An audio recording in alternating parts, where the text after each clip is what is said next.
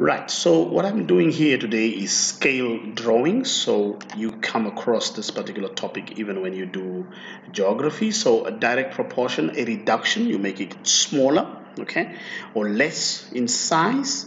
So I'm going to use things like a uh, map and real life or model and real life when I do my questions. So I start right from the first one. It says on the plan of a house, the living room is 3.4 meters long that's the length, and 2.6 meters wide, that's the width. And the scale is one centimeter is to two meters. So the map, one centimeter represents two meters. And you see I'm writing the units on top here. Then I write down the unknowns, 3.4 uh, meters or centimeters rather 3.4 centimeters under centimeter and I'm looking for this value of x here. So it's direct proportion so you can do cross multiplication. As one increases so does the other one. As one decreases so does the other one. Bottom line is you should get 6,8 that's the length of the room the width you use the same scale no problem you just then put the 2.6 centimeter under there and then you cross multiply you should still get to the same answer at 5.2 meters, whatever method you are using. Let's look at area. So when we are dealing with an area, so we have a map has a scale of 1 is to 10,000. So the area of a farm uh, is 6 centimeters square on the map so what is the real area of the farm when we are supposed to give it in hectares? So what you need to remember is that you have got your scale given to you as 1 is to 10,000. So the units are the same there. Okay, and the scale is length. So 1 centimeter is equal to 10,000 centimeters in real life according to that scale. So what I like to do is I like to change my question to what I'm I'm supposed to find my answer in. My answer will deal with meter square. So it makes sense if I change 10,000 centimeters to meters, which is 100 meters. It's still the same thing. It's just now one centimeter represents 100 meters on the map, which is exactly the same as one centimeter is 10,000 centimeters. The reason I did that is because I'm supposed to square my scale in order for me to find the area. So I'm going to say 1 times 1 square is 1, 100 times 100 is 10,000. Now my square is in 1 square meter, 1 square centimeter is equivalent to 10,000 square meters in real life. So I put then my 6 square centimeter under the centimeter square and I find my unknown by again do your cross multiplication, you get 60,000 square meters. Right, since one hectare is equal to 10,000 square meters, then 60,000 square meters divided by 10,000, you get an answer of 6 hectares, and that is the correct answer.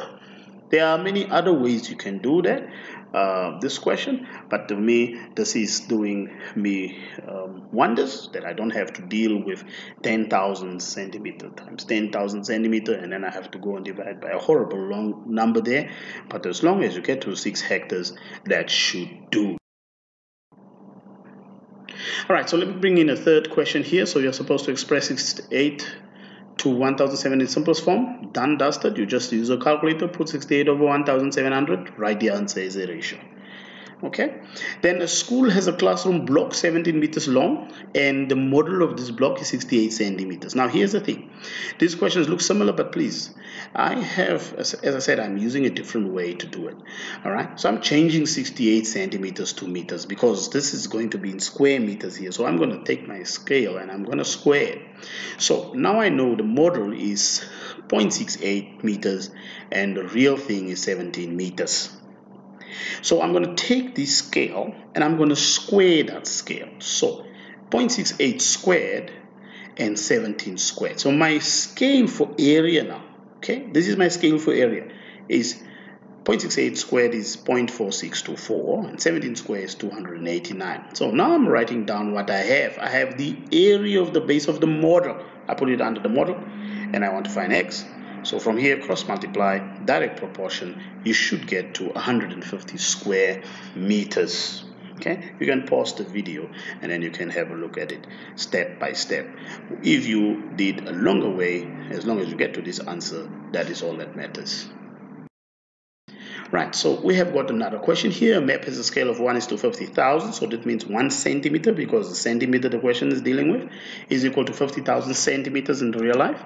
And since they are dealing with my question here, they want the answer in kilometers. So what I like to do is I like to change 50,000 centimeters to kilometers, and I have done it on the side. All right, so my new scale is going to be centimeters to kilometers as opposed to centimeter to centimeter. It makes better sense for me to work like this. But again, you can use the 1 is to 50,000 and then go later on and divide your answer by 100,000.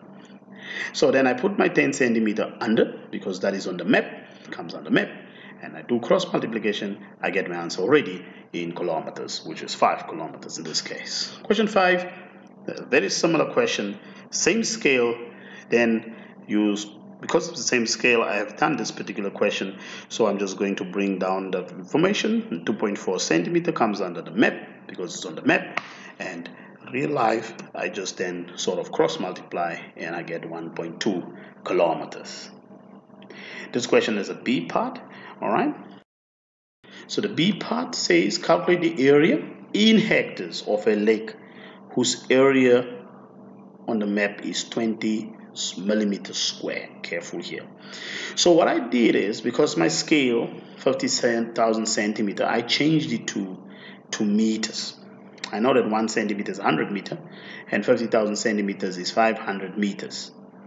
The reason why I, I, do that is because I'm supposed to give my answer in hectares.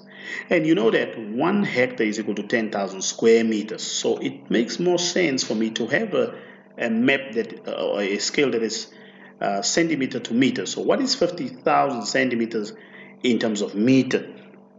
Okay, and now my scale reads 1 centimeter is equal to 500 meters. And I'm squaring this because I'm dealing with area. So you square, 1 times 1 square gives you 1. And then obviously 100 times or 10 times 10 gives you, or the 500 times 500 gives you um, 250,000. Right, so what I did also here, I changed my one centimeter before I multiplied it out. I changed it to um, millimeter. So one square centimeter, I know that one square centimeter, one times one, one square centimeter, that is a hundred square millimeter because I'm given a 20 here. So there's no point in having a square centimeter here. Okay, so I change my scale to millimeter square to meters square. So pause and have a look at that. And now I simply insert my 20 because it's millimeter under millimeter now, and that is map and that is area. Cross multiply, I get 50,000 square meters. But then I'm supposed to find my answer in hectares, and I know I must divide this then by 10,000 in order to find my answer as 5 hectares. Right, so this brings me to question 6. Question 6, scale of a model of a building is 1 is to 50, 1 centimeter is equal to 50 centimeters. So this is one straightforward question which you can keep. Um, I didn't change the scale here, so I didn't change 50 centimeters to meters, but you can go ahead and do that anyway. Or you can go and divide later on by 100. This answer should be straightforward, 9 meters. Right, so the B part says uh, the scale of a model of a second building is 1 is to n. The area of the base of this model is A square centimeters. The area of the base of the second building is A square centimeters. So, so I've got my centimeter centimeter here. So I've got map 1 is to n, but I'm dealing with area, so I square that. So when I square that, I have 1 is to n square. That's 1 times 1 is 1, n times n is n square. So now I'm simply going to put my values. The area of the base of the second building is the base of the model. So model under model, I will put A and then small letter A and capital letter A under real life, second building. Okay, and then write down everything is on top of A, cross multiply A equals to A times small a times n square. Make n the subject of the formula and you should get nothing but n equals to square root of a over n.